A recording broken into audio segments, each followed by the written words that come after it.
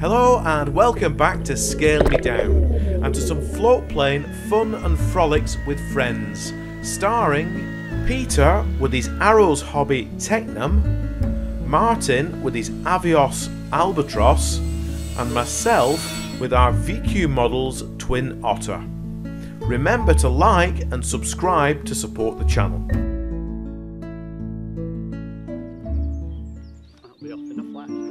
First up, to show us how it's done, is Peter. With an eye for a bargain, he spotted this model in the Christmas sale at our local model shop, Steve Webb Models.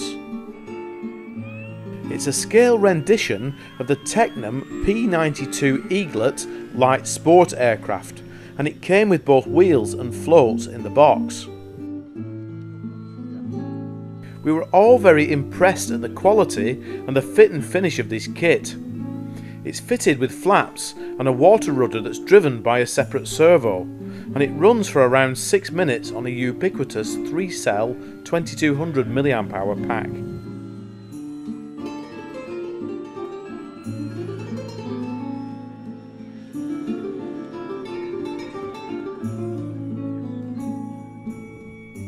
This is only Peter's second time out flying off water, and he made it look too easy, with his plane alighting gracefully back into the water.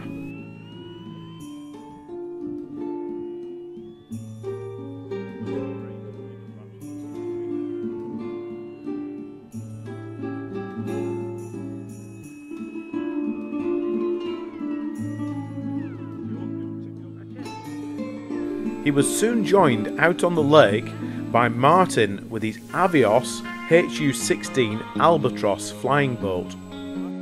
We recently featured this model on a build and review video and I'll put a link up here where you can find it.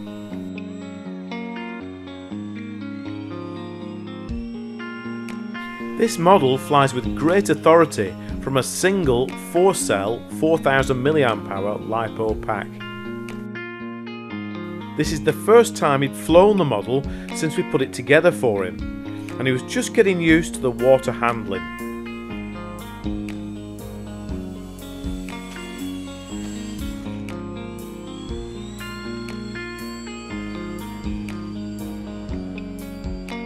He was having tears of fun, making tremendous amounts of spray. Its bright colour scheme stood out well against the sky, and also reflected in the water surface.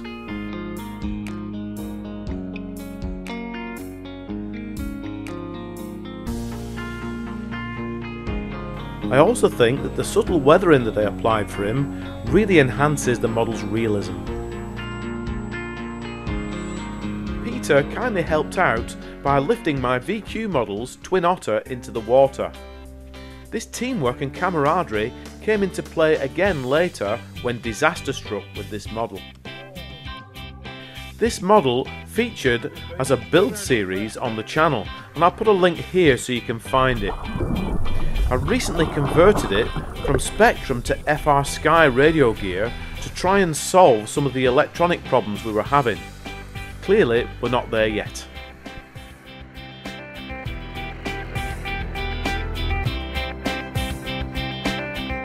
This model also draws its power from a 4-cell battery pack and it's equipped with Hobbywing 40 amp reversing speed controllers.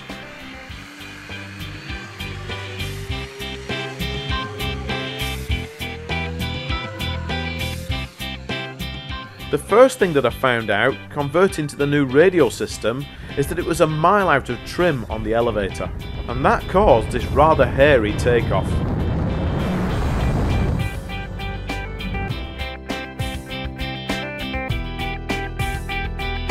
She flew much better once I had her trimmed out, and I've got to say, she looks lovely on floats.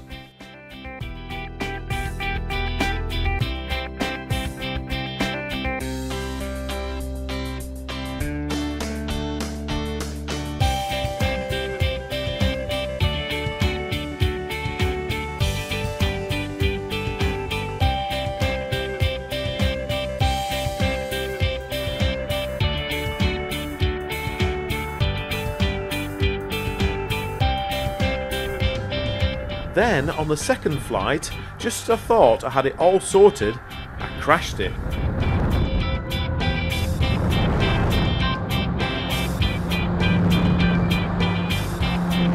Now I thought I'd just got a bit too low and slow, but let's have a look what happened in detail. From the camera mounted out on the tailplane, we can see the starboard motor stop. Let's have a look at that again in slow motion.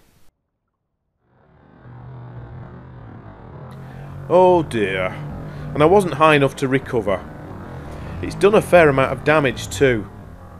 I hadn't realised, but it did it during the taxi out as well.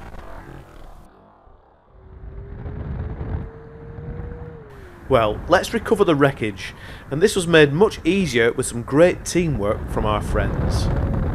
Here is when we get to see our rescue boat HMS Most Leaky in action. She's a floating toolbox that's modified from a radio control Springer boat, complete with servo driven rubber lobster claws.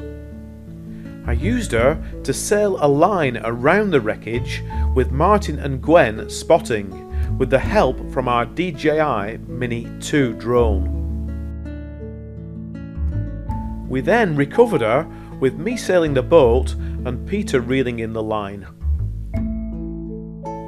It didn't put too much of a dampener on our day.